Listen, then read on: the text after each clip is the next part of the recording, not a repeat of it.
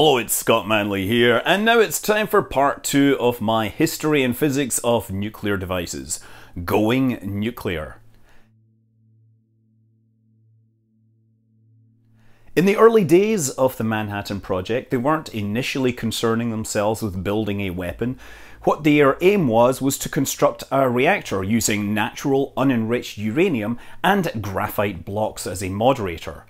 Enrico Fermi at Columbia University in New York started this. He built a couple of uh, piles, neither of which achieved criticality.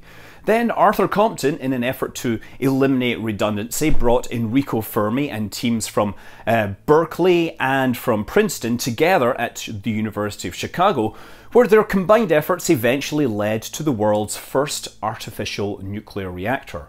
The Chicago Pile 1 was built in racquetball courts underneath the spectator stands at Stagg Field. It contained six short tons of uranium, 50 short tons of graphite, and uh, control rods made of cadmium sheets basically nailed to wooden strips. It went critical at 3.25 pm on the 2nd of December 1942, generating a whole half watt of power. This was deliberately kept low because, unlike modern reactors, this had no shielding or cooling, the kinds of uh, features that you would expect on a modern reactor.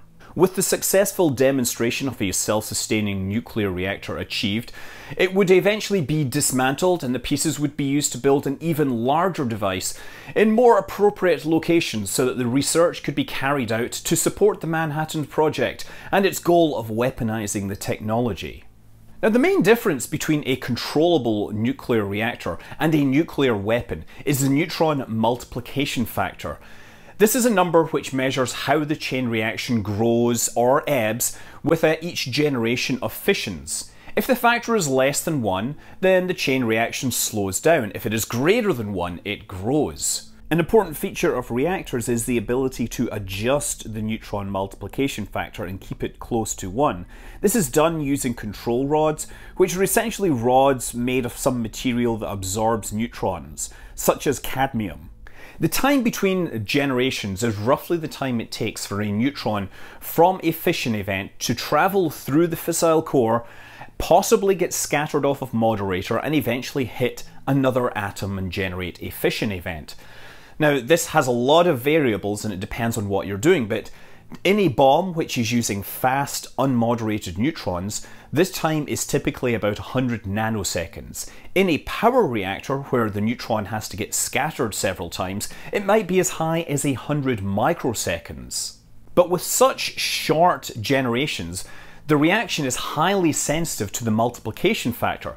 If your multiplication factor is 1.01, that is just 1% above being critical, and you're working in a thermal reactor where you're talking 100 microsecond generations, then about every 7 milliseconds you're going to double your power output, output. That means in less than a second you will go from zero power to essentially explosive levels of power if you're just relying on the initial neutrons generated from each fission.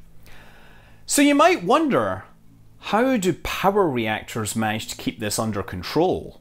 Well, in a stably operating core, there's actually two sources of neutrons to be concerned about. The first are the neutrons being generated directly from the fission, but the fission products that come out of each fission frequently are radioactive and some of those will be neutron generators. They will throw out neutrons when they decay. The time that it takes from the initial fission to the daughter products decaying can be a few minutes. So in addition to the neutrons being generated directly from the fissions, you've got a background from uh, reactions that have happened over the last few minutes. These are called delayed neutrons, and the neutrons that are generated from the fission events are called prompt neutrons.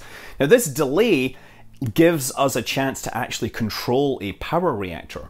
What you do is you make sure that your reactor is just subcritical for the prompt neutrons, but when you add in the 3% of so or so of delayed neutrons, that brings you over or just up to the 1.0 multiplication factor.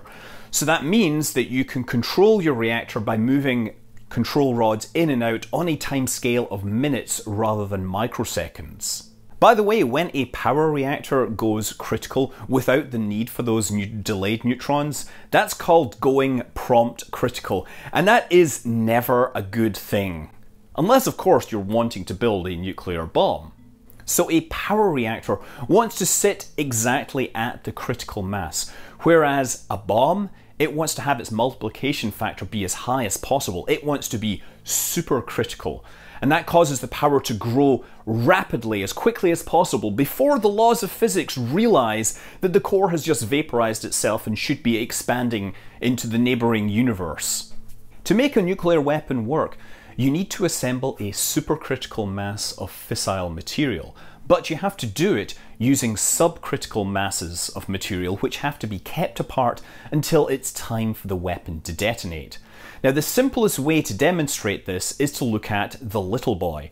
This was the first weapon ever used in war, but it wasn't the first weapon tested, and the reason is the Little Boy used a gun type assembly mechanism, which was considered to be so simple compared to all the alternatives that a full up test of the weapon was never carried out before its use over Hiroshima.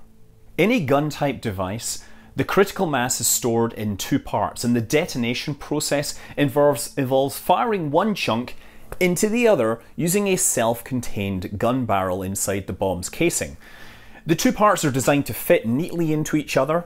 In the case of the little boy, there was a cylinder which fits neatly into a sleeve which makes up the other half of the core, and therefore turns the two subcritical masses into a critical mass of fissile material able to support the nuclear chain reaction. Now, as an aside, many diagrams actually get the design of the little boy backwards, showing a cylindrical slug being fired into a hole in reality, it was the other way around, with the cylinder being the target and the sleeve being the projectile that was fired down the barrel. Now, the reason for this unintuitive design comes down to the target being more than just a block of fissile material, but it also includes the structure around it. When the core is assembled, it would be surrounded by a casing of tungsten carbide, which served two very important purposes. Now, the first purpose was to hold the core together a little longer, keeping the reaction going so that more generations of fission events can happen.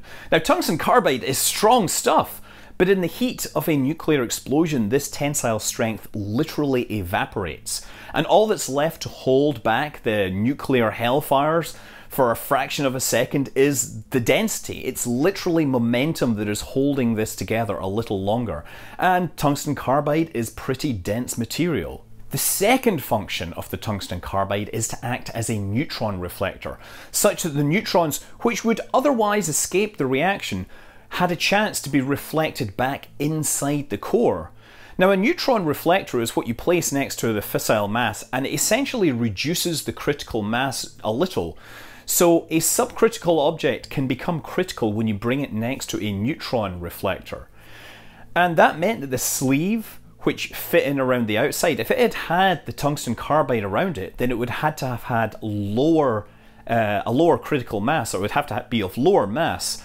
So by separating the slug from the reflector, you ended up being able to put even more fissile material and get even more boom out of the little boy. So even although it's not fissile and doesn't release any energy on its own, the tungsten carbide's role as tamper and neutron reflector makes a significant contribution to the yield of the weapon in the microseconds that the fission reaction is running. But even before the core is assembled, things can happen very, very quickly. So when the gun fires, the projectile moves down the barrel at about the speed of sound. When it gets to the end, it doesn't actually need to stop because when the fission reaction kicks in, it lasts for only about one microsecond before the device is destroyed. And in a microsecond, you move about 0.3 millimeters. However, during the device uh, assembly, there is a moment when the mass is actually critical, but not fully supercritical. It's possible that the reaction could start in this last millisecond or so, and if it did, uh, the device would explode, but it wouldn't explode with the yield that was intended. This is called pre-detonation. Now you might wonder, how does the nuclear reaction actually start? Where do the first neutrons come from? And actually in uranium, The nuclei have a small chance to spontaneously fission all on their own without being hit. Uh, they will generate the daughter products and a bunch of neutrons, and that can start the reaction. For every kilogram of uranium-235, you get about 0.3 fissions per second. So for the whole critical mass, that would be about 15 for the whole assembly. Uranium-238 is worse. It generates about 13.6 spontaneous fissions per kilogram per second. Now after you account for the chance of absorption and escape, most sources estimate that the chance of pre-detonation in Little Boy would have been about 10%. Also, Little Boy included a neutron generator codenamed Abner, and honestly, I can't find any information about this. It wasn't strictly necessary for the device. But as we get on to more uh, complex devices, neutron generators are going to become very, very important. And that's where I'm going to leave this. Part 3 will go into the more complex plutonium implosion devices. Until then, I'm Scott Manley. Fly safe.